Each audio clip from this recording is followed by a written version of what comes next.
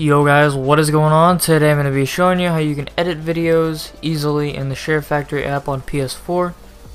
Now the reason I am doing this is a friend asked me to do it. But anyways, let's go ahead and load up Share Factory.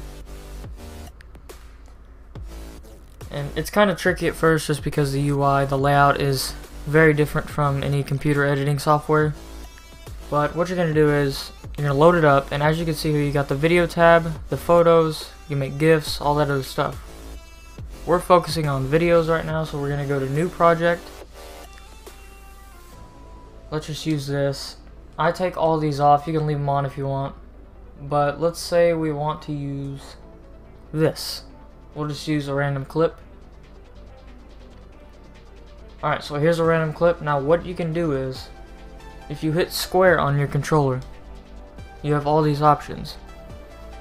The time bender, that pretty much, that's controls the speed of the video. Split clip, it lets you split it like this. You're just gonna go to split clip, push X, go over to confirm, and it'll split it. So now you have two separate clips.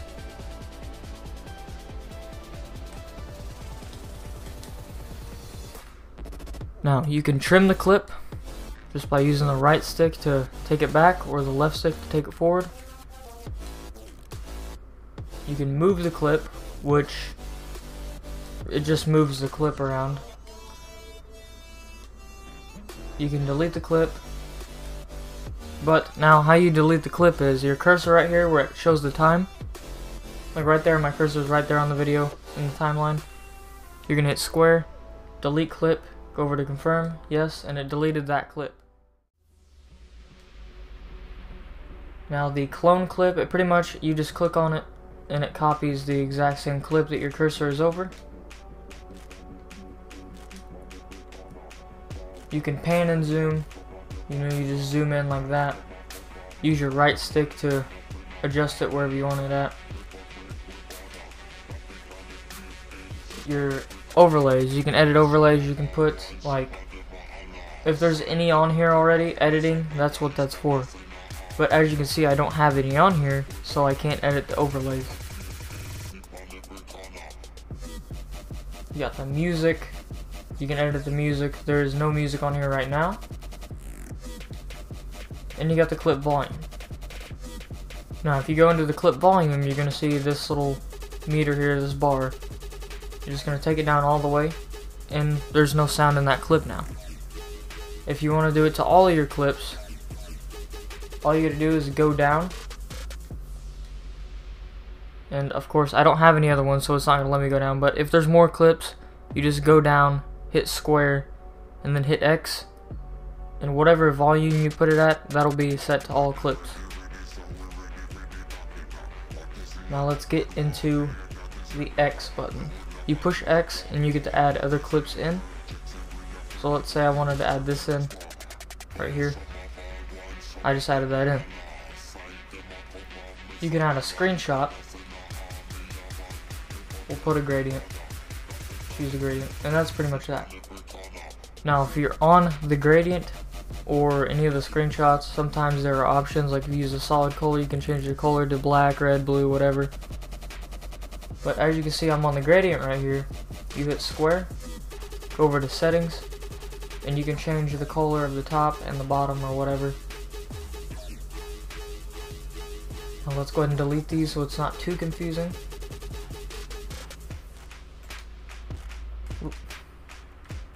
We don't want to clone that. Alright, so now back to the X button. You can add music, which wherever your cursor is. So if I add music right here, it will not be, the music will not start until it's right here. So if we want it at the very beginning, we're going to go to the very beginning with our cursor using either the right stick or the touchpad in the middle. Hit X, add track 2, not track 2, add music, my bad. Track 2, we'll get into that in a second. Add music. You can add one of these, I'm just going to add this. As you can see, here it is, music is added. And yeah. So let's delete that. Track 2 would be like a video overlay or you can add a microphone like audio. So right here, if I wanted to add another clip over that video, I just go add clip and I can put whatever. So I'll put this over it again. And you can see that yellow box up there. Whatever video I added, it's going to be right there in that box. Now you can push square on this and you could edit how, you know, the size, the layout, everything like that. I'm just going to delete it so we don't get confused here. Now if you go and hit X and you go to add overlay, if you have, like this is stickers and stuff like that, but if you have your own, like I have this, it adds the bars, you know, I hit back, circle two times, and it adds it over like that. Now that we have an overlay on our video, if you go to edit overlays, hit square again, you can like move it around and all that other stuff. You can change the opacity, you know, delete it, you can, there's a layer, there's a layer box on the left side here. You can pretty much move them around with the layer order, you can align it, all that other stuff. I'm going to delete it now. Now you can add a filter. Okay, filtering, it, it can be like saturation. You add that over your video, it's more saturated, more color, pretty much.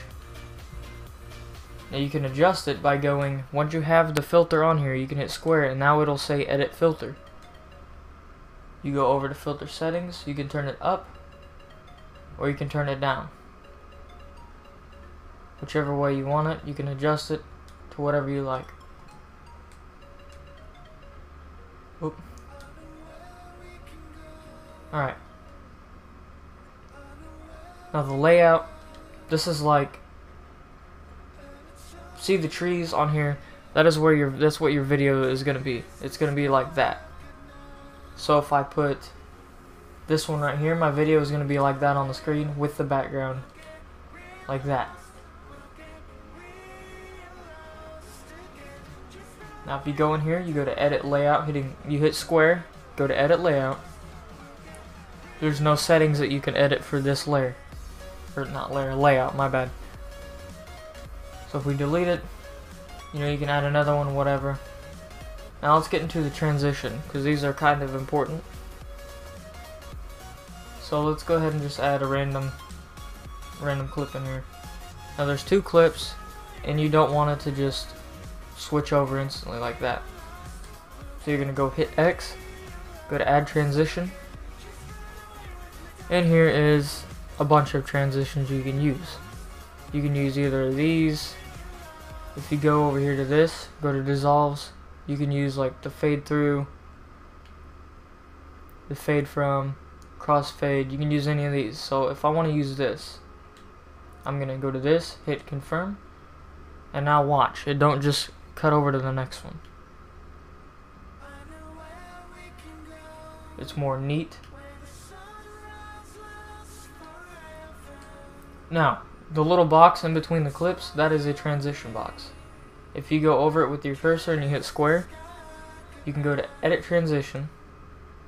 You can delete it, replace it, set the volume, which I don't, there's no volume for it. And then you can uh, edit the settings for it you can change like if you want it to be yellow like this you can change it so let's go back it goes into yellow so it's pretty cool. Um let's see here. If you hit L2 on your controller if you're not in any settings you can go into full screen. And it pretty much just shows you a full screen view. Now R2 on your controller is how you hit play. You can just hit play. Like I said, the touchpad is the move, or you can use the right stick. Touchpad is faster, you can fling it around, or right stick, it's up to you. Now the L1 button, it's gonna take you back to wherever like the last clip was. If you hit R1, it's gonna take you forward to where the next clip is. Like so. R1, L1. Now if you hit the options button on your controller, you can go in here and whatever, you can save the project to where you can come back and edit it later, or you can just instantly export it to the gallery. Now as you can see here it says generate thumbnail. This is going to be the thumbnail for the video. So when you're not playing the video, this is what's going to be on the front of the video. So if I wanted this to be the thumbnail, I go right here, hit options, generate thumbnail, and now that is the thumbnail.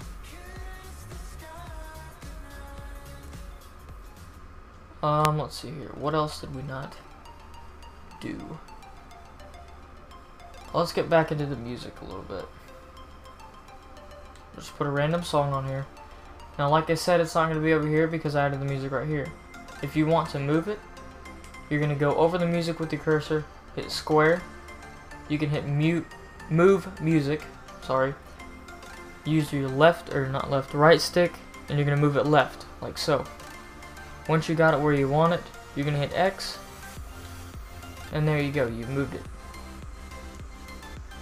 Now, one thing you can do, and I like to do this in my videos, I don't use Share Factory, but I like to do it. You can hit square over your music, you can go to fade in, and you can turn it up. I put it around 3 seconds, and that pretty much makes it to where your music just don't start playing, it kind of fades in from no volume to the highest amount of volume. And you can do it for the end as well.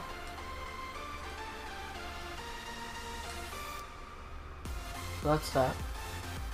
Now the music, once you hit square on it, you're going to see similar options to the video options. You can split it, trim it, move it, delete it, put the volume on it. It's the same as editing the video. So like if you hit split, you can split the music. Now let's say you don't want music on this part of the video.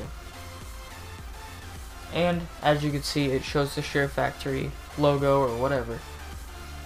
And you don't want that to be stuck on your video because it'll carry on for about uh, 3 minutes, however long the song is.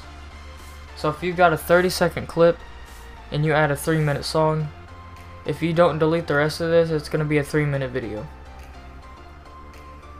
So what I do is I kind of come over here, I delete it right before it's about to show the logo, I hit split, I go over here, I hit square, you can delete the music with square once you're in this, and it'll delete that part.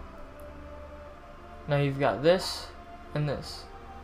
Say I don't want this, I hit square, hit delete, and that's that. I don't want any music, I'm going to delete it all. Um, I'm pretty sure that is it.